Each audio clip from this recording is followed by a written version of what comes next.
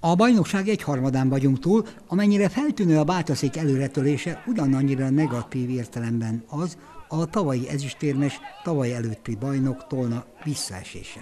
Az anyagi feltételek a játékos állomány erőssége alapján nem elfogadható az öt vereség, az a két döntetlen, amit a nyáron edzőváltozáson átment csapat produkált a mindössze három győzelem mellett. Igaz, a hatodik helyen áll még az eddig összegyűjtött 11 pontjával a csapat, de a szűkebb élmezőnyel szemben már jelentősnek mondható a hátránya a Tolna VFC-nek. A harmadik, illetve a negyedik helyen álló Majos és Dombovár előnye ugyanis 8 pont, az első és a második helyen álló Bonyhád, valamint a Bátaszék 12 ponttal gyűjtött többet, ami ismerve az említett két csapat játék erejét, kiegyensúlyozottságát, őket már alig ha érheti utalat volna. De a felzárkózásban még bíznak.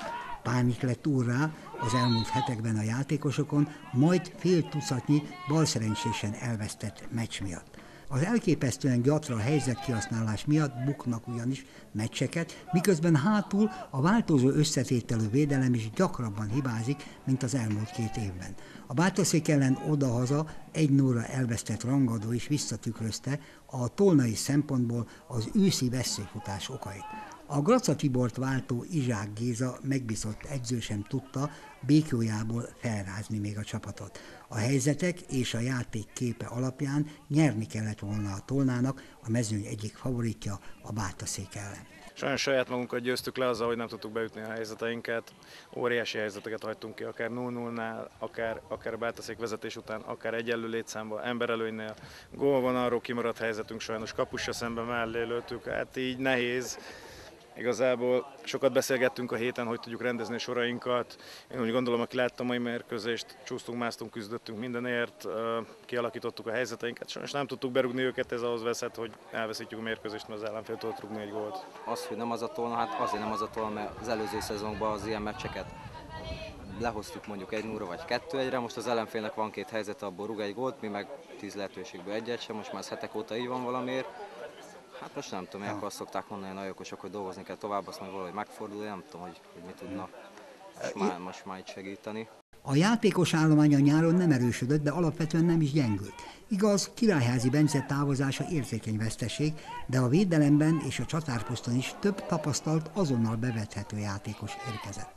Igaz, a sérülések jobban sújtották ideig a csapatot, mint az elmúlt két évben. Igen, a mai mérkőzésen négy játékos nem állt rendelkezésemre kisebb-nagyobb sérülések miatt, rá bízom benne, hogy valamelyikük felépül. Szerkezeti változás már megtörtént az előző meccshez képest, más felállási formációban játszottunk, más dolgokat gyakoroltunk a héten. Én úgy gondolom működött is, csak egyetlen dolog hiányzott a gól. Pap Milán, Rompos Józsi, Blatt. Blatt Pali főleg, tehát óriási érvegás, hogy ők nem tudnak játszani, leszükült a variációs lehetőségem, de hát most ez van, ezzel kell megoldanunk, nem félek egyik ellenfelünktől se, hogy ne tudnánk bárkit is megverni.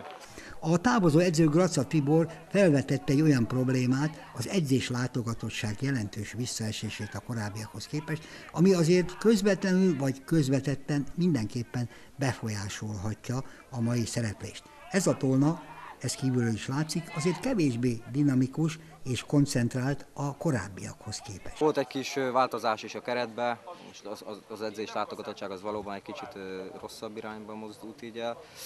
Biztos, hogy ez is, de attól függetlenül azt mondom, hogy nem játéktudása, tehát abszolút nem azzal van a gond, hogy most mit tudom én, nem a fülünkön pörgetnénk a labdát, hanem egyszerűen ott a helyzeteknél nem vagyunk ott fejben, biztos vagyok benne, hogy ez 80%-ban mentális dolog, tehát az edzésekkel, meg a mentális dolgokra, hogy nem biztos, hogy tud az ember készülni.